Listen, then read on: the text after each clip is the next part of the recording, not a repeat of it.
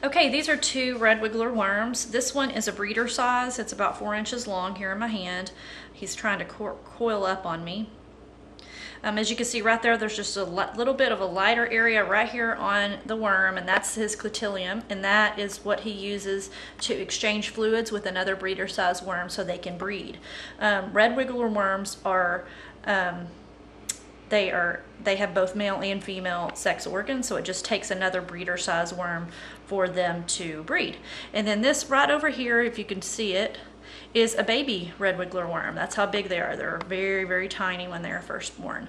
Um, while I'm showing you this, I don't want you to do what I'm doing right now, and that is don't um, handle your red wiggler worms on your bare hands. Um, they tend to die if they're handled too long on your hands from the oil on your hands.